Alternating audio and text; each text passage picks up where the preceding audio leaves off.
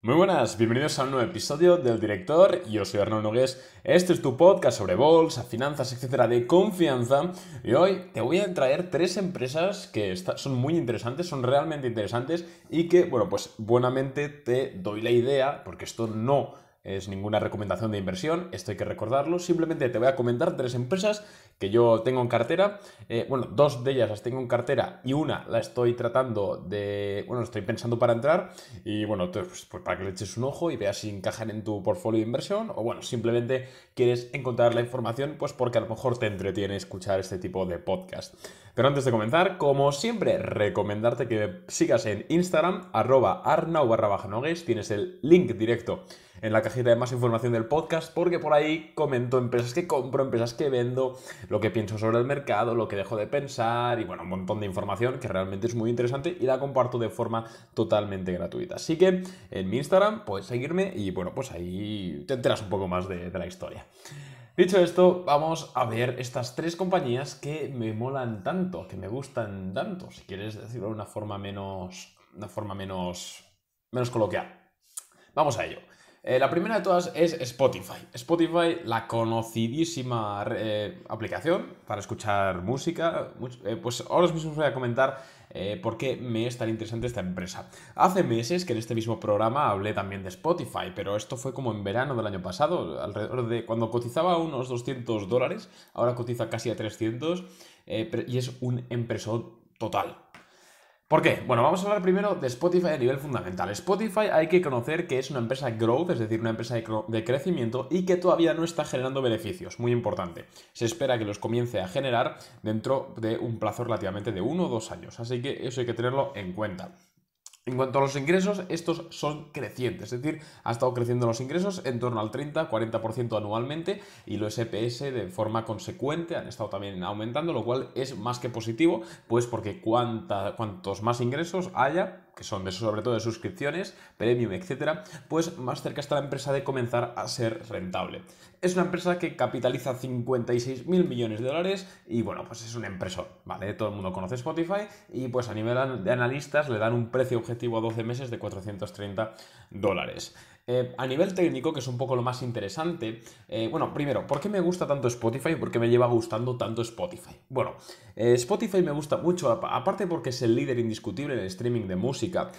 Me gusta mucho porque está viendo una nueva ventana, una nueva ventana de, una nueva ventana de negocio, que son los podcasts propiamente hablando. De hecho, esto es un podcast y Spotify lleva desde el año pasado invirtiendo muchísimo dinero en podcast se han dado cuenta de que el audio a la carta, es decir, los podcasts, están de moda. Y no solo están de moda, sino que son, van a ser, sobre todo en el futuro, una de las formas de consumir contenido más populares del mundo.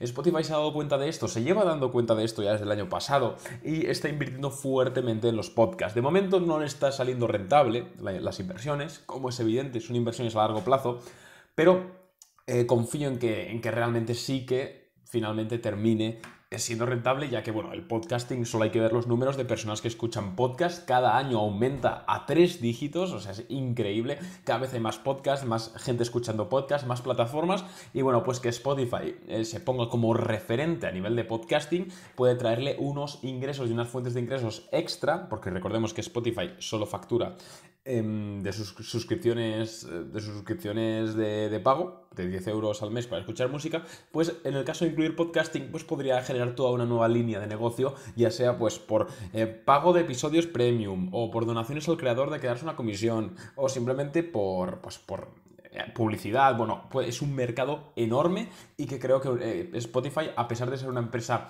que lleva ya unos años en el mercado, eh, realmente cotiza solo, entre comillas, 50 mil millones de dólares y yo creo que es una empresa de 100 mil millones de dólares por lo menos de aquí a un plazo de dos años. A nivel técnico, Spotify corrigió con la caída del Nasdaq y está ahora mismo realmente a una valoración muy, muy, muy atractiva, sinceramente. llegó a máximos históricos alrededor de 390 dólares y ahora mismo está a 300 a 298, lo cual es una caída del 20% eh, respecto a máximos históricos y ha subido en las últimas semanas un 13%. Eh, ha entrado muy buen volumen y bueno, la verdad es que pinta muy bien para comprarla ahora y llevarla a ese medio largo plazo que te comento. De hecho, el otro día llegó a un acuerdo con Apple, eh, bueno, hace un año llegó a un acuerdo con, con, distintos famosos como Michelle Obama, Barack Obama, etcétera, para crear podcast, crear contenido y realmente vemos que Spotify sí que está apostando muy fuerte por esta línea de negocio. A lo mejor suena un poco ridículo, pero acordaros de este programa de que yo, Arnaud Nogués, dije que Spotify iba a ser la referencia en podcast y que el podcast lo iba a petar. Y si no, tiempo. Esta es la primera empresa. La llevo en cartera, por supuesto. Vamos a hablar ahora de otra compañía y esta no es otra que Delta Airlines, una clásica, una compañía que lleva décadas en el mercado cotizando. Es una aerolínea, es la aerolínea más poderosa de Estados Unidos y es mi favorita. ¿Vale? ¿Por qué, es mi ¿Por qué Delta Airlines no otra aerolínea? Bueno, muy sencillo, porque tiene un, ha, demostrado, sobre todo en los años 80, años 90, en otras crisis, que realmente sí que tiene una capacidad y un equipo directivo em, pues bueno, sobre todo para salir a flote con la compañía. Y realmente ha sido así. En, en Boring Capital entramos en Delta Airlines alrededor de los 40 dólares y le llegamos a sacar, dando un segundito que miro las rentabilidades, Ah, pues le llegamos a sacar un 30%. Ahora mismo ha corregido con la, última caída. Está ahora mismo a 44 dólares, la tenemos con beneficio y justo está en el soporte del canal alcista de recuperación de, la crisis del COVID. ¿Por qué Delta Airlines ahora? Bueno, porque siempre hay que tener exposición a aerolíneas. Ahora mismo el tráfico eh, aéreo se va a recuperar. Recordemos que Estados Unidos está a 1,5 meses de la inmunidad de grupo en eh, bueno, pues respecto al COVID-19 y esto pues va a hacer que el tráfico aéreo se recupere. Además recordemos que Estados Unidos es un país enorme, entonces para viajar de un estado a otro pues muchas personas optan por aerolíneas, las más, eh, por, el avión y la aerolínea más, más empleada es Delta Airlines. Delta Airlines es una empresa para llevar a largo plazo que en dos años posiblemente vuelva a valer esos 60-70 dólares que llegó a valer en el pasado. Realmente me parece muy buena empresa y ahora mismo está a un precio bastante atractivo tanto a nivel fundamental como a nivel técnico. En cuanto a nivel fundamental, sí, es verdad, tiene deuda, tiene mucha deuda, tiene mucha, bueno, tiene ingresos negativos, está perdiendo dinero, es evidente, recordemos que venimos de un parón económico en el que precisamente no se podía viajar, pero eh, confiando en la reapertura económica poco paulatina que parece que está viendo ya y que pues, países como por ejemplo Israel ya han demostrado que sí, que la vacunación eh, da resultados, pues yo creo que es tener exposición a compañías eh, más tradicionales como aerolíneas, cruceros, etcétera, pues puede, eh, puede ser una jugada bastante inteligente. Así que segunda compañía que te comento hoy, Delta Airlines. Y vamos con la última. La última es LAZR, Luminar Technologies. Esta no la tenemos en cartera, pero estamos planeando tenerla. Esta empresa, en esta empresa estuvimos invertidos en Boring Capital alrededor de marzo de este año, cuando estaba formando un triángulo un triángulo de consolidación, pero realmente no nos gustó mucho y nos salimos. Después de esa figura, la empresa cayó de 35 dólares a casi 15, es decir, cayó un 50%. Pero ¿qué ha pasado? Que en las últimas tres sesiones la empresa ha pasado de valer 15 dólares a valer 25, es decir, una subida del 50% en tres días, lo cual es una absoluta locura. Y dirás, ¿qué ha pasado? Y además ha entrado mucho volumen. ¿Qué ha pasado para que Luminar Technologies de repente suba un 50%?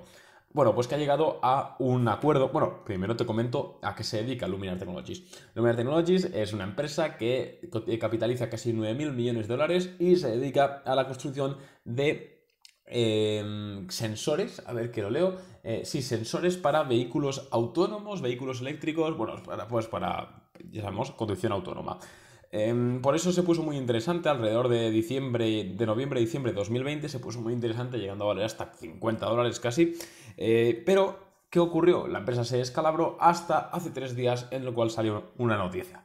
Y es que Luminar Technologies llegaba a un acuerdo con la empresa de construcción de aviones Airbus, que es la empresa más grande de, Europa de construcción de aviones, pues para trabajar con ellas en un partnership. Esto ha disparado las acciones porque a largo plazo, bueno, porque es Airbus es una empresa enorme eh, y a largo plazo pues puede dar muy, muy, muy buenos rendimientos a una empresa como Luminar Technologies.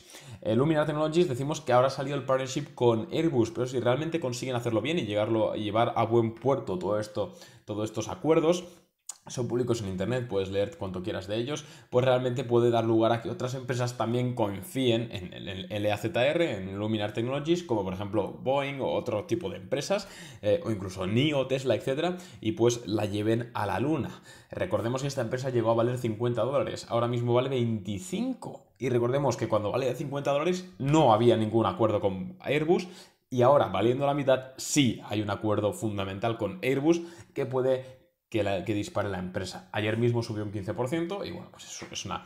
Eh, pinta muy bien, pinta muy bien. Esta no sé, no te sabría, para largo plazo no la llevaría, la llevaría en la watchlist, de hecho es lo que estoy haciendo yo, la estoy mirando poquito a poco y pues si veo en algún momento que me gusta mucho o que justo está en una entrada técnica muy buena, eh, pues, pues compraré. ¿Vale? Compraré. De momento no compro, la tengo en la watchlist, pero es una empresa súper, súper interesante. Previsiones de analistas, a 12 meses, 40 dólares.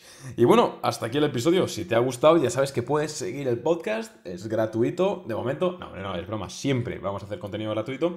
Y puedes seguirme en Instagram. Un abrazo y nos vemos en el siguiente episodio. Chao.